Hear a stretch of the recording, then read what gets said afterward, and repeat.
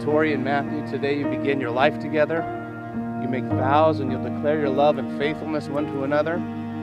I know in meeting with you that you have every intention of loving each other for the rest of your days. Know that marriages, these commitments that you make today, they'll be tested. But my prayer for you is that God gives you enough love to keep you going, enough patience to endure. May God give you both an abundance of joy and happiness. And may He cause you both to never lose one ounce of the love that you share here today.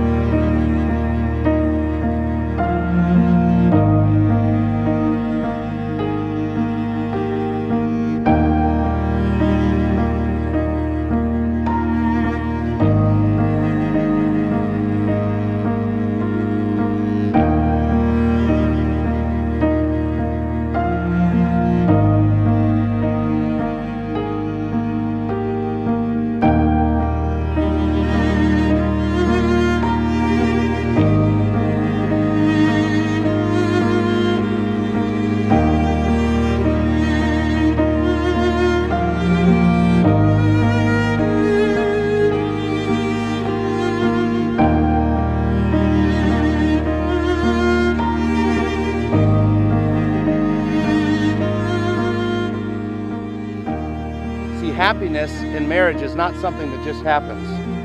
A good marriage is something that's cultivated. In marriage, the little things are the big things. It's never being too old to hold hands.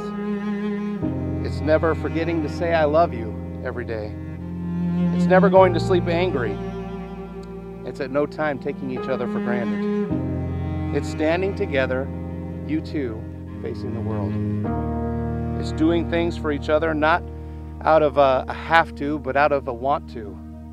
It's cultivating flexibility and patience and understanding with a sense of humor. It's having the capacity to both forgive and forget. And it's giving each other the atmosphere which you both can grow.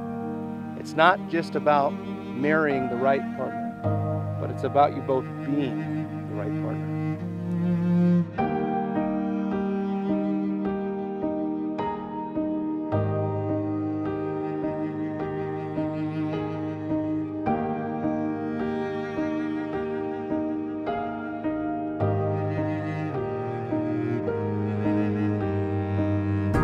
Matthew Allen Cook, promise to take Tori Christine Dolch to be your wife? Will you promise to love her, comfort her, honor her, provide for her, forsaking all others, keeping yourself only for her, as long as you both shall live? As a promise made before Almighty God and your friends and family, will you say, I do? I do.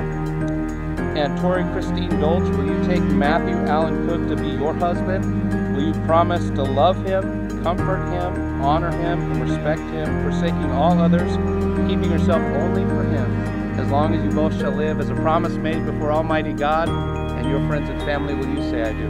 I do. It's been my great privilege to witness the joining of this man and this woman by the power vested in me by the state of Iowa and God's holy church, and I now pronounce you husband and wife. You may kiss your bride. Thank you.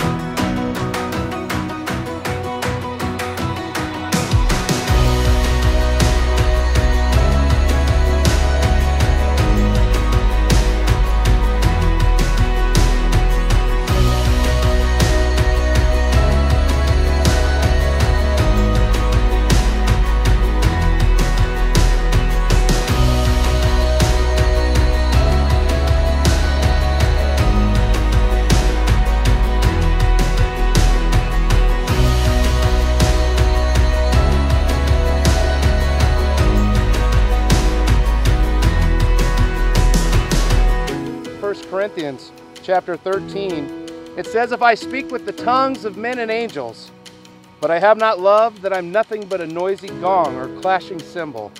If I have prophetic powers and can understand all of life's mysteries, and I have all knowledge, and I have faith that can even move a mountain, but I don't have love, then I am nothing. If I give away all I have to the poor, and I deliver my body up, but I have not love, then I've done it for nothing. For love is patient, it's kind, it does not envy or boast, it's not proud or rude, it's not selfish or easily angered. It does not rejoice in wrong, but it rejoices in the truth. For love bears all, believes all, hopes all, and endures all. True love